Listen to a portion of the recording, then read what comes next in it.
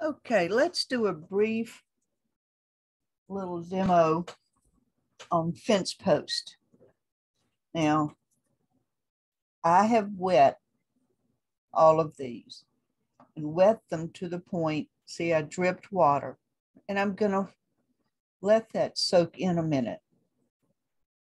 Now this is going to be a rather simplistic, now here I am gonna wet the bottom demonstration. Um, here we go. And I want to make a couple of points before we begin or as we begin. Let me wet this and show you. All right. You see how wet that is? And I'm losing control of it. That is not what I want to do. So if you go in and yours is too wet, I'm simply rinsing my brush, drying my brush, and pulling it out. And I will wait and let that water absorb a little more. There's not really a way to tell you how to know what's too wet, too dry, when it's dry enough. It's a matter of just practicing and getting to know your paper, how much water you have in your pigments, how much water you're bringing from your brush. Those are all variables that I can't really verbalize for you. And we're all different. But the point of these exercises as well, this is ultramarine. See now? It doesn't matter what color you're using but pick a blue that you like. Now see how softly that's beginning to bleed. I can tilt this. You can't see it while it's bleeding. What I want to do, you see here halfway? Nope, you can't see that halfway, right there, halfway. I want this bleed to come a little over halfway, but not all the way to this edge. So what happens if my bleed comes all the way to the edge? I'm going to take my brush, either the round brush, clean it, and I'm going to pull up some of this. Now I'm going to clean it again, dry it again, and it might take a couple of swoops. Or I can try a little flat brush and run it down the edge. But I want as little color there as I can. Now, in this particular case, for all of these, the sun's going to be coming this way.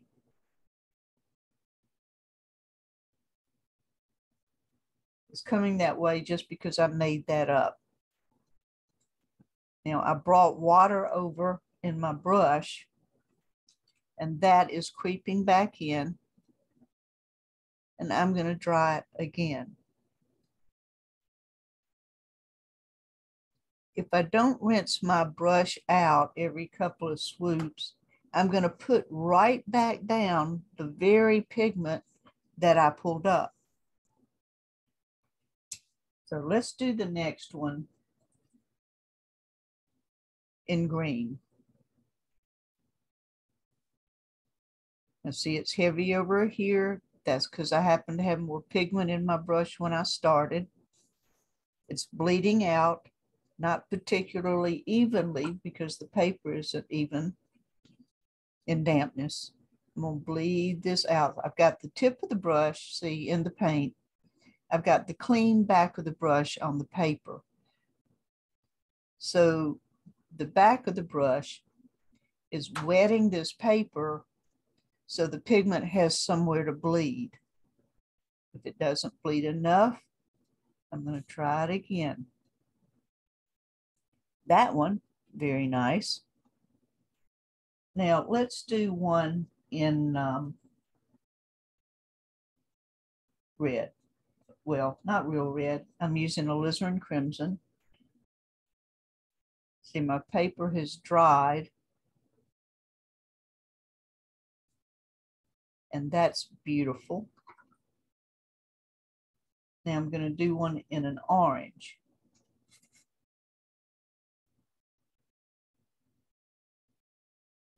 You can see here the paper starting to dry out.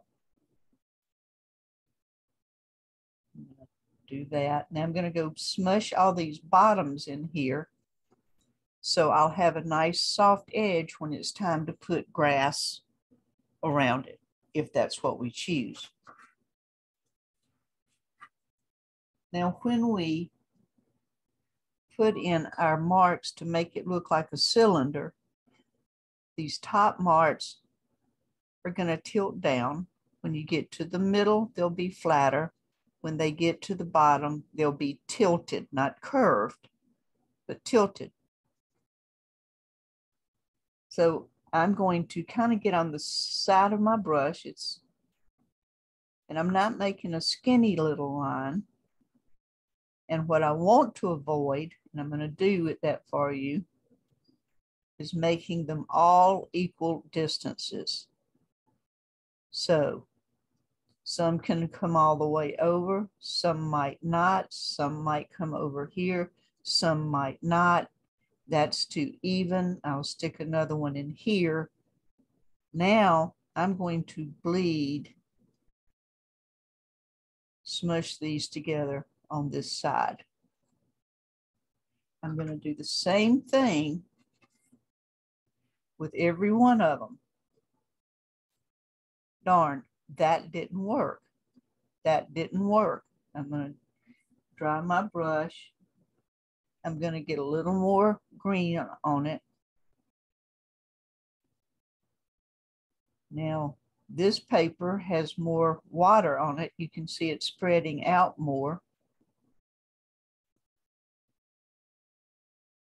That's good. Then I'm going to do here. Now I didn't have enough pigment on my brush. Let me tilt that. Can you see? So I didn't get a dark space. I did get a nice dark line.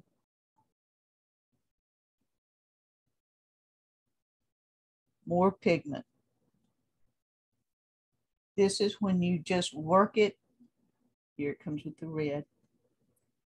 Uh-oh, too wet. See, I lost control of it. I'm going to have to let that dry and the orange dry.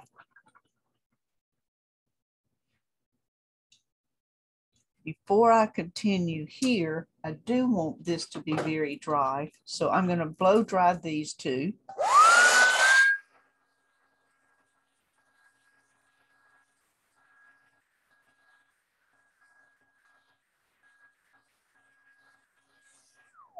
I'm gonna let these dry by themselves.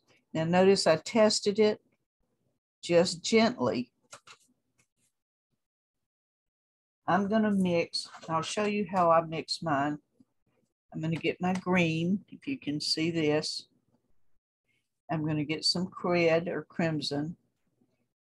And together, now that looked like it was mighty easy. You're gonna have to mess around. If it's too red, add a little green. If it's too green, add a little red. If you have a brown, use it. I just like mixing my colors. So I've got my brush saturated in brown. And I'm going to start at the top. Actually, I'm going to add more water. Uh, enough water that instead of painting this brown, I'm glazing it.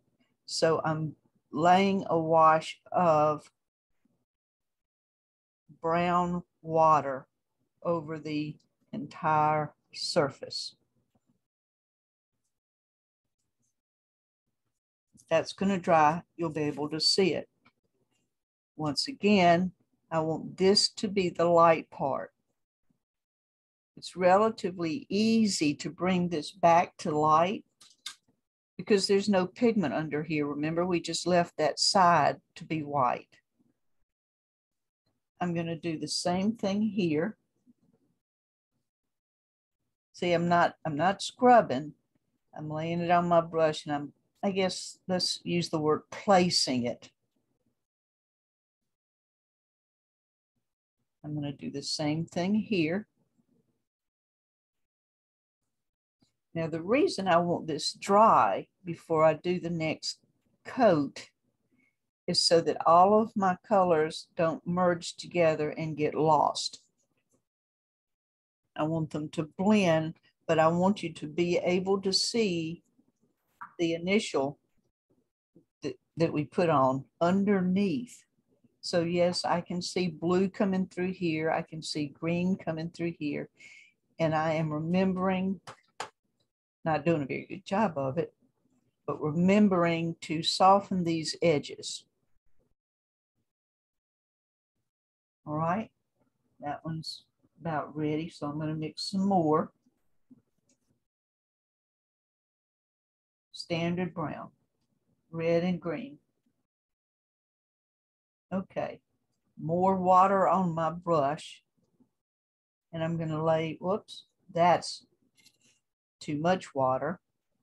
So I'm gonna add more pigment. And I'm gonna do the same thing here. Now, what I didn't notice, I don't know if you noticed it or not, is I forgot to put the bands in here. That's just fine we've got lots of opportunity to do that. But while I'm thinking about it, I will go back and do it on the orange. Straight, see, tilting down, tilting up, and smushing out the bottom.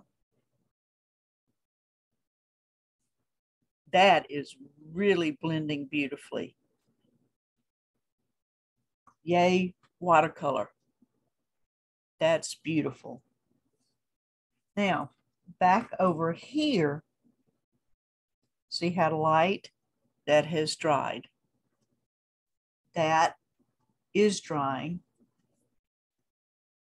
That is. So again, I'm going to take a second and I'm going to blow dry all of these until they really are just bone dry. Okay, we're dry as we can be. Oops, sorry, don't do that. We're dry as we can be.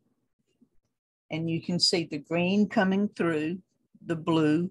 You can see the marks stronger here than you can here. Actually, you can barely see them here.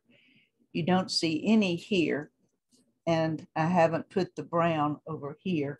And I'm going to do that right now. So it can be drying and that's not enough pigment. So I'll add more. It's wet now. But again, remember, I'm not going to scrub it because I don't want to reconstitute what's underneath. There we go. And that will be drying. We're going to come back over here. Now, the first step we did, we wet the paper, let it soak in. Then we put the color on it. Then we put the strokes on it. So that would be three. Well, I'll come back. Let me pay attention to what I'm doing. So now this is much darker. I'm being careful. And now I'm on the tip of the brush. And this is tricky. This is like drawing.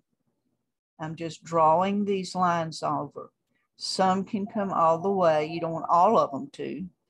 Some part way, some half. See what I'm doing here? Now, I'm going to make some a little thicker so it doesn't look like it's nothing but scribble. And I'm being careful with this. I again, I don't know how to verbalize to you what I'm doing. Damp, damp brush, clean brush, and I'm going to bleed this out a little bit. Now, I'm going to leave that alone. Let me tilt it so you can see. I'll come back and make adjustments later if I want to. I'm going to do the same thing right here on this side. Now, you notice through all of these steps, I've been careful with my edges. And I'm on the tip of the brush, I'm drawing some over. These are still tilting down. I don't want equal distance. It'll straighten out as I get to the middle and it will become a tilt, slight tilt up as I come down here.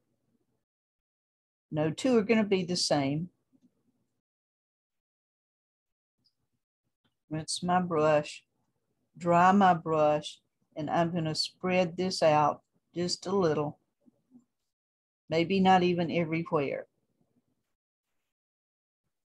If this gets too flat over here, too much paint, look, that's all I have to do. Can you see Kevin there?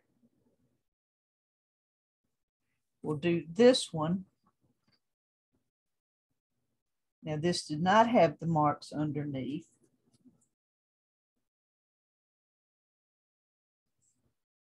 So I'm going to go down the edge. That was a mistake. We're going to leave it there. You know, by the time you finish your fence post, nobody's going to know that mistake.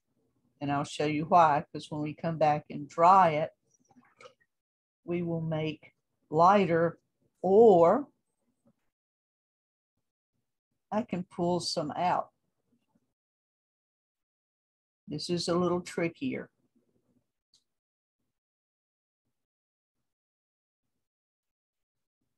Can you see what I'm doing with the flat brush? I'm going to come through here and I'm going to mess this up a little.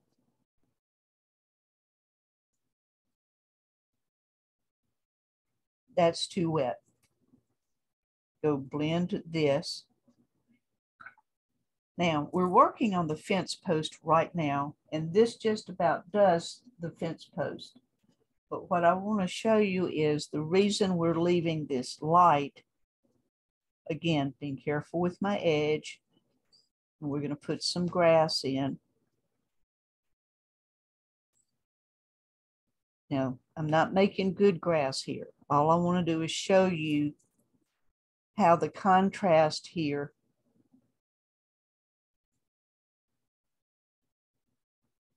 very little contrast over there, but see how that contrast really pops that light source out? So let's do that over here.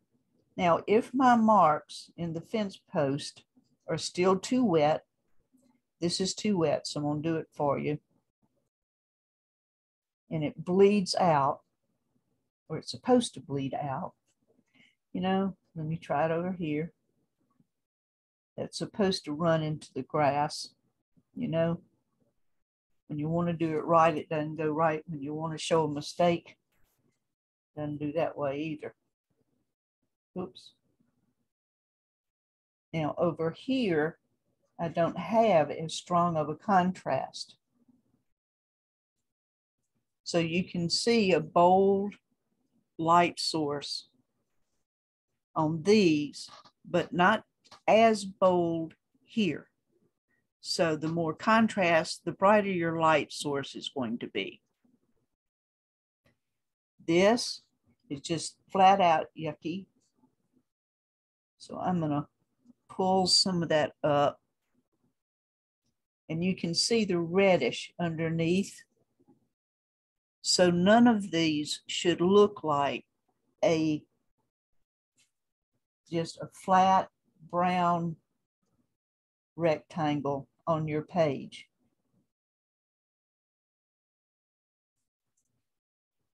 You see the difference? These have the texture. Now I'm going to pull this out a little more. Now, you've heard blossoms and cauliflowers and all that. If you want to try one, drop a little water. If your paper's too dry, it won't work. If it's too wet, it might not work, but you'll see it in a minute. We're going to pretend the sky's blue. Now, see what'll happen when I put these in context.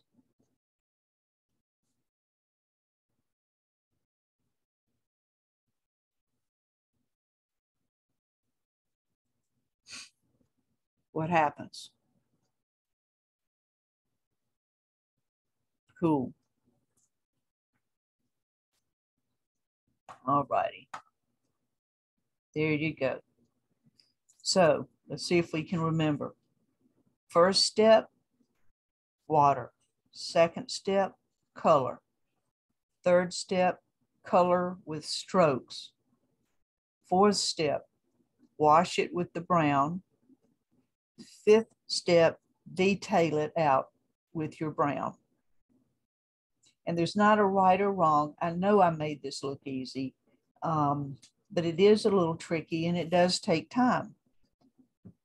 So enjoy painting some fence post. I will come back later in addition to this exercise and do some puddles. And then we will do a painting with fence post and puzzles. But for now, practice your fence post and I'll see you later.